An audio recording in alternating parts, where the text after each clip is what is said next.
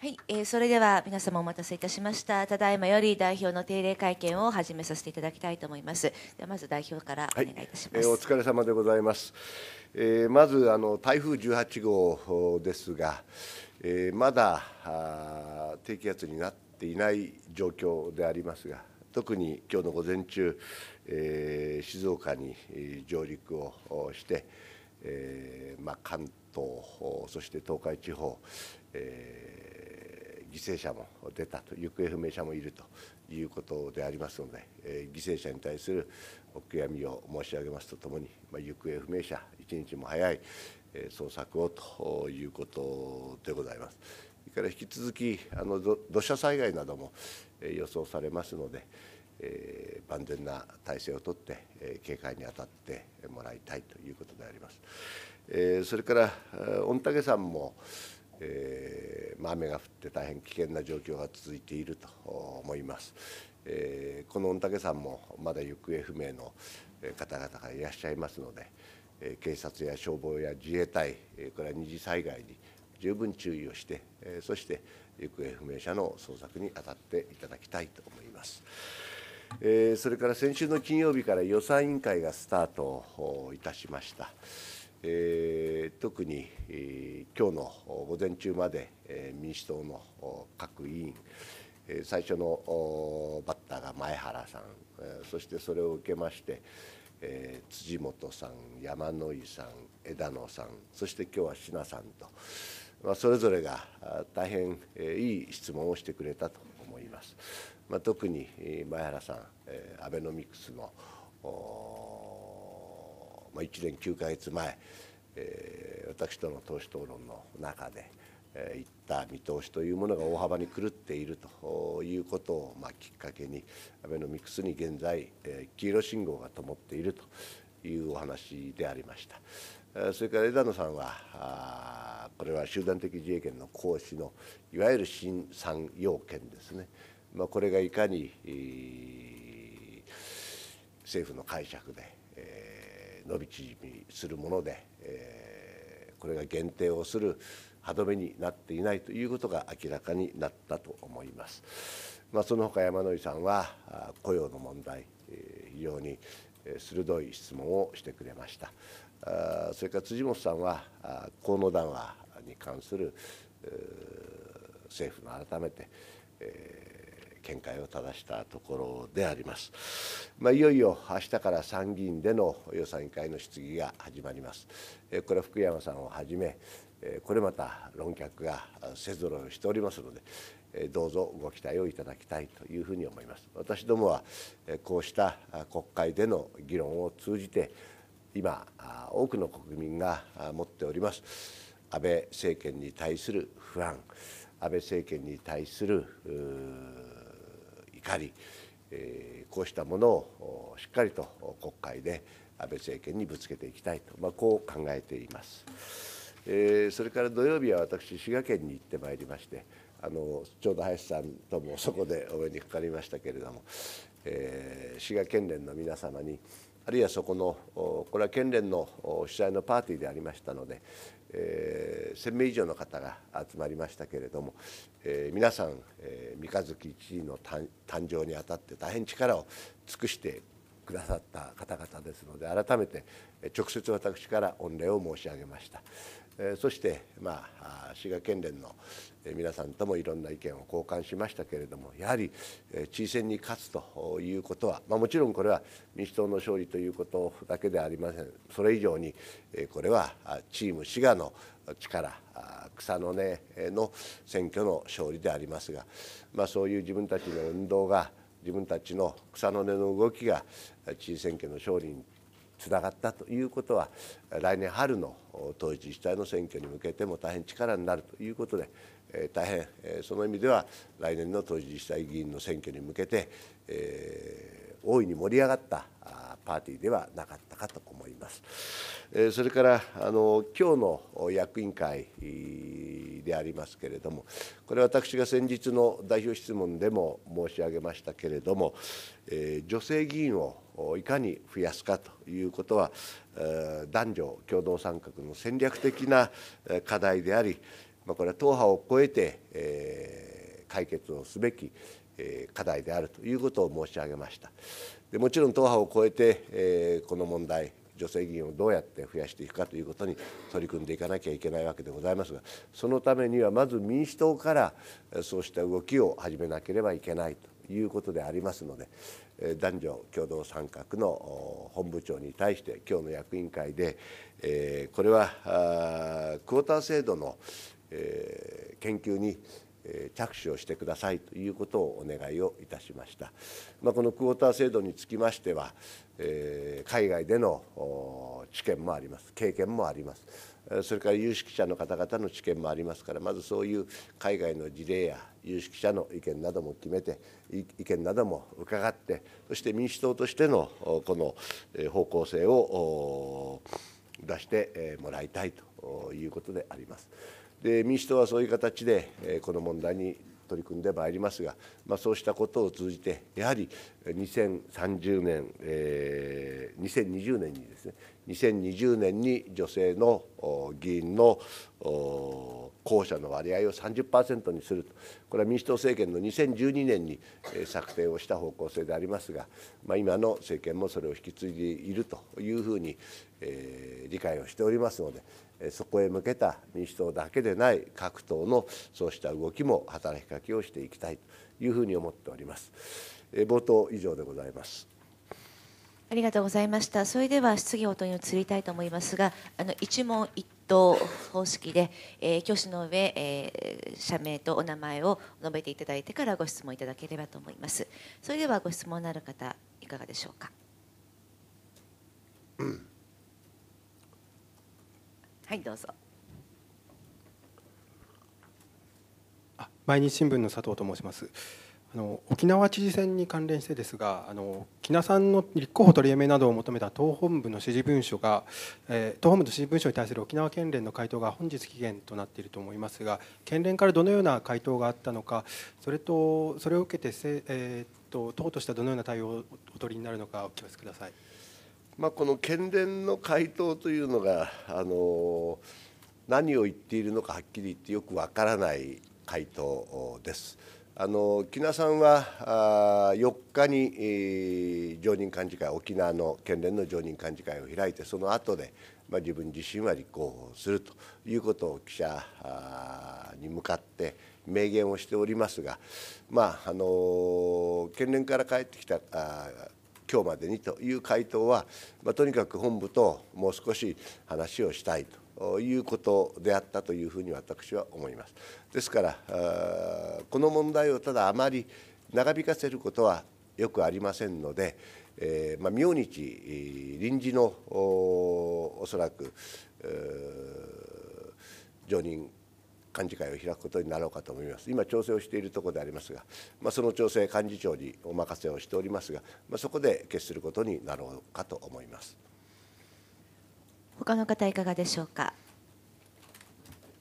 よろしいでしょうか？あはい、どうぞ。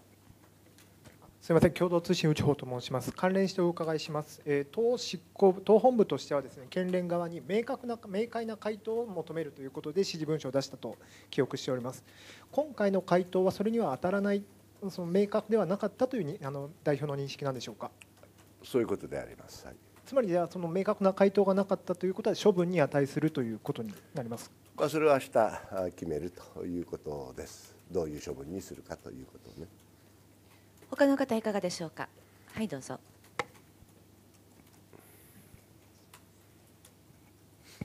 読売新聞の門です。これまで何度かちょっと伺っていてお伺いをしていて恐縮なんですけども、えー、文書通信交通滞在費についてお伺いします。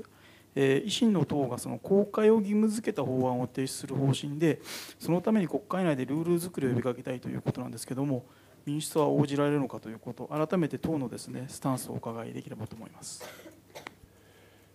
まあ、あの維新の党とは先だっての党首そして幹部の会合で、まあ、政策の協議を行うとあの倍でもそれからマルチでもということでありますから、まあ、そこであの話をしてもらうということになろうかと思います。だからそれを聞いてということになろうかと思います。他の方はよろしいでしょうか？はいどうぞ。産経新聞の南條です。先週の党首会、維新の党との党首会談の後、まあ共闘を目指すというような方向性を代表両代表がおっしゃられたと思うんですけれども、橋本市長がその次の日に民主とは組めないというようなことを発言をされてますけれども、それについてあの代表としてはどのように受け止められているんでしょう？か。今、南條さんあの、共闘を目指すというお話がありましたが、これは正確に言いますと、国会の中での共闘を目指すということでありますから、まあ、そのことについて、まさにあの私と枝さんとの間でお話をして、まあ、そういう方向性が確認されたわけですから、まあ、国会の中の共闘を目指すということであって、えーまあ、そのことについて、まあ、他党の内部のことですから、えー、どうこういうことは差し控えたいというふうに思いますが、あのあくまでも国会の中の共闘を目指すということで、えー、力合わせをしようということですので、誤解のないように改めて申し上げておきます。ではどうぞ他にいかがですか？じゃあ、はい、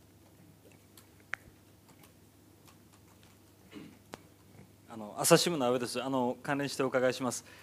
あの今あの維新とのあの連携というのは、まあ、あくまでも国会内の共闘ということですけれどもあの民主党の支援団体の一つであるあの自治労の氏家委員長があの先日大阪でのあの定期大会の中で、えー、この維新との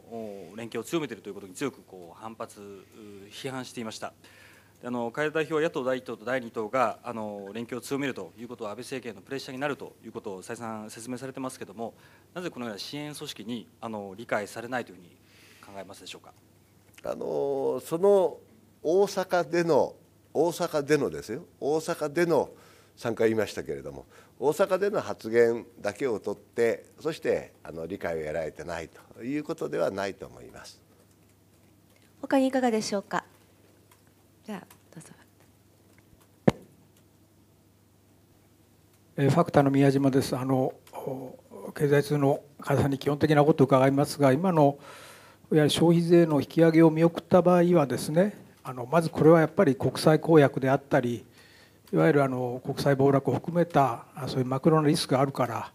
これは難しいというかですね、えー、絶対上げなくちゃいけないんだというような論者もいるんですけど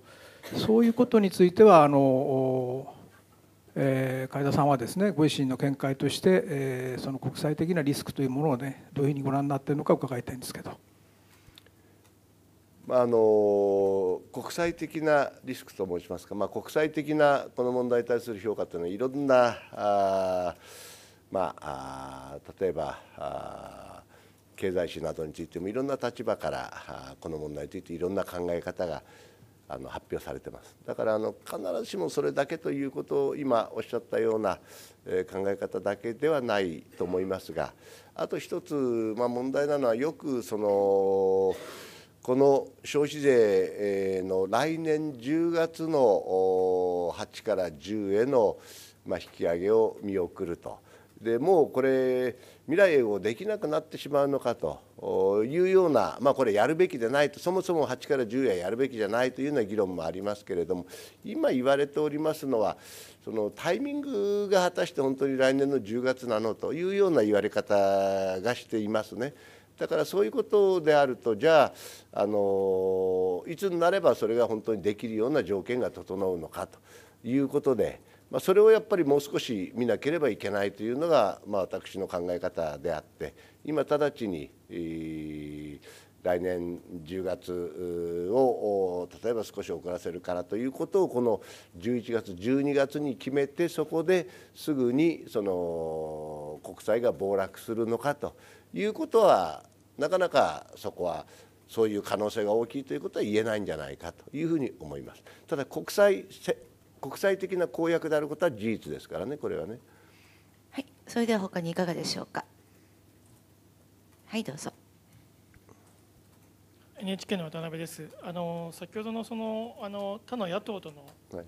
あの連携についてお伺いしたいと思いますけれども、今後そのあのまあみんなの党もあの収まったかには見えますがかなりその路線対立がありますけれどもそういったその党の中から民主党にその近い考えの人たちとかですねそういったところとこう連携していくっていう今後のなんかその野党連携のさらなる展望みたいなものはあるんでしょうか？あの今の段階でせっかくその維新の党も一つにまとまったところですから、まあ、そこからあその民主党と近い人をどうのこうのとかいうことは申し上げるつもりは全くありません。でただあの野党連携ということでいうとこれはまああの維新の党だけじゃなくて、まあ、幅広にということは前から申し上げている話でありますから、まあ、あ今あ維新の党とはああいう形で、えー、党首会談やりましたからまだ次がいつでどことということは決まっていませんけれどもまあ他の党ともやっていくということでありまして、まあ、そういう中から幅広の連携を求めていくということです。はい、それでは他にご質問ございますか？じゃはいどうぞ。フジテレビの由美と申します。あの維新との、えー、共闘連携なんですけれどもあの先日の党首会談で江田さんの方から、えっとまあ、大阪大阪都構想への協力っていうのが要請があったと思うんですけれども、まあ、それに対してあの楓田さんの今のところの考えをお聞かせください。まあ、あの大阪都構想の問題は大阪の問題でありますので。まあ、あの地方文献、地方試験の一部の問題であることは確かでありますけれども、まあ、あの江田さんからそういうお話がありましたから、私はあ黙って聞かせていただきました、あそういうことなんだなということを、まあ、あ自分の中で、えー、取り込んだということでありまして、特にそのことに対するお答えはあしませんでした。それでは他にどなたかいらっしゃいますか？ありますか？じゃあ2回。はい。あの朝日新聞の安倍です、はい、あの先ほど代表はあの維新との関係について、まあ、あくまで国会内での連携ということで大阪とはこう区別してらっしゃるようなあのニュアンスの言い方だったと思いますがただまあ先ほどあの維新ももう一つになったということですけれども、まあ、維新は枝代表とあの橋本さんと2人あの代表がいらっしゃるわけで、まあ、枝さんとはこの間あの代表質問後にこう握手して非常にいい雰囲気だったかと思うんですけども橋本さんとは今後うまくやれる自信というのはあるんでしょうか？いやあのー今は別にあの国会の中であの維新を率いて、えいるのは枝さんですから、まあ、あの国会が始まっていろんな形でしかも私と枝さんは席が隣同士ですから、まあ、そうすれば親近感といいますか維新伝心といいますか、まあ、気持ちが通じるんで握手もするでしょうしえー、まあいろんなお話もするでしょうと。まあ橋本さんとはあの昔は何度か会ったことありますけど、まあ、大阪と東京そして、えー、国政と、えー、大阪の、まあ、政策市長ということですからそんなに会う機会ありませんのでねあの、まあ、国会のことをいろいろお話をするのは、それは江田さんあるいは松野さん小沢さん、まあ、そういう方々とお話をすればいいんじゃないかなというふうに思ってます。えー、それでは他によろしいでしょうか？じゃはい、どうぞ。はい共同通信内保と申します。重ねてすみません。はい、あの全く毛色が変わっている質問で恐縮なんですけど、ノーベル平和賞について伺います。あの平和賞候補にですね、あの憲法9条を保持してきた日本国民を有力視するという予想も出ております。実際に取るかどうかっていうのはまあ別問題だと思うんですけれどもこれまでその9条の理念を守ってきたその日本の国民性についてまず一言いただきたいというのが1点。合わせてその集団的自衛権の行使を認めた安倍政権というのはですねこれまで守ってきた9条の理念に反するのではないかと指摘する識者もいらっしゃいます。この安倍政権の憲法観にも含めて代表のご所見をいただけますでしょうか。すみません。あのノーベル平和賞の、まあ、候補にノミネートされていると。しかもその憲法9条を守ってきた日本国民ということですので私も日本国民の一人として、まあ、世界がそういうふうに評価をしていると。日本の国民は平和を愛する国民なんだなと。いうことを評価しているということは嬉しく思います。でその上で、まあ、その意味ではあの日本の国民が平和を愛する国民だと。そして、まあ、平和を愛するということは日本にとっての、まあ、ブランドになっているということですから、まあ、安倍総理集団的自衛権の行使で、えー、まさにその国民に対してその平和を愛する国民に対して説明責任を十分に果たさないということはやっぱりせっかくのブランドを自ら既存することになれやしないだろうかと。まずやっぱりそういう国民だと世界は見てくれているんですからその平和を愛する国民に対してしっかりとした説明責任を果たすべきだ。まずそこを果たさなければいけないと改めて思いました。ありがとうございました。それではす。い。ません2度目で、はい、あの3党3党合意の拉致外だった野党とはいずれもまあ消費増税に反対という立場を鮮明にしている党が多いわけですが民主党はやはりあのこの問題をですね与野党対立の構図とは捉えないと。いわゆる政府与党と同じように市地区の数字を見てそこでやっぱり3党合意に基づき、まあ、国家国益っていうんですかねそこで考えると。だからこの問題についてはあの与野党とのその対立というはですねその話し合いとかそういうもので考えているのかその路線がつまりこの問題で野党と野党との共闘っていうのは僕は民主党は難しいと思うんですがその辺の基本的なですねスタンスを伺いたい。あの今お話のあった通りやっぱりあの経済条項というのを入れたのはまさに私たちが政権与党の時でありましたからその意味では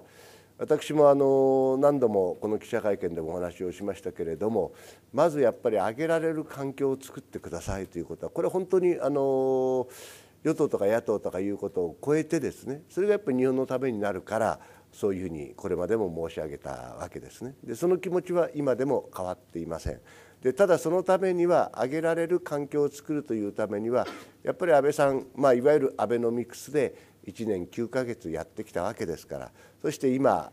正直申し上げましてそのアベノミクスに信号が灯っているわけですから、まあ、一部赤信号というふうにも受け止めることができるわけですからだからやっぱりこれに対してただ手をこまねいているだけじゃなくてですねやっぱりやれることは全部やってくださいとこういう考え方であります。それでは他にいかがですか？じゃはいえーと、フリーの堀田です、えーと、沖縄の前に福島があるんですけども、応援に行かれますか？はい。じゃあいいですねその質問でね夫さんのね。はい。えー、あいやこれは立たないんじゃないですかおそらく。これは私だけじゃなくてあのー、まあこれ今候補予定者の内堀さんですけれどもあの別に党本部に来てお願いをしますということもありませんしあのいかにこれ民主党だけじゃなくて他の政党にもそうそうだと。完全にやっぱりそれはあの県民党でいきたいということは伝わってきていますので、まあ、押しかけてわざわざ内堀さんはいい男だよとかいい候補者ですよとかいうようなことは私も内堀さんよく知ってますけれどもねあの原発ってこんな働きやってくれましたよとか話そうと思えばいくらでも話することはありますけれどもわざわざあのこっちが押しかけていってリクエストがないのに押しかけていって、えー、特に街頭でマイクを握ってという考え方は今はありません。他によろしいですか？はい、はい、どうぞ。安倍さん。ああの朝日新聞の安倍です、はい、あのカジノのあの IR 法案についてなんですけども、はい、あの8月末あの代表にお伺いした際にはあのまだ、えー、党内で議論するあの時間的余裕もないということで統一的な見解をまとめてないということでしたけども、ね、あの現段階での党の見解というのはあのどうでしょうか？でまとめるご予定というのはいやまだあのまさに明日あのネクストキャビネットがありますから、まあ、どういうあの順番になるか分かりませんけどネクストキャビネットで議論をしてもらうと。いう話ですね。あの今日の朝日の占領で面白い占領ありましたね。あのか読みました？あれカジノの話ね。はいはい。カジノを日本語で何ていうかって鉄川というというね、えー、なかなか面白い占領がありましたね。なるほどなと思いましたね。はい、ありがとうございます。ちゃんと読んでるんですね安倍さん川柳も。えー、はい。そうですか。はい、はい、それではよろしいですか？はい、はい、皆さんどうもありがとうございました。また来週よろしくお願いします。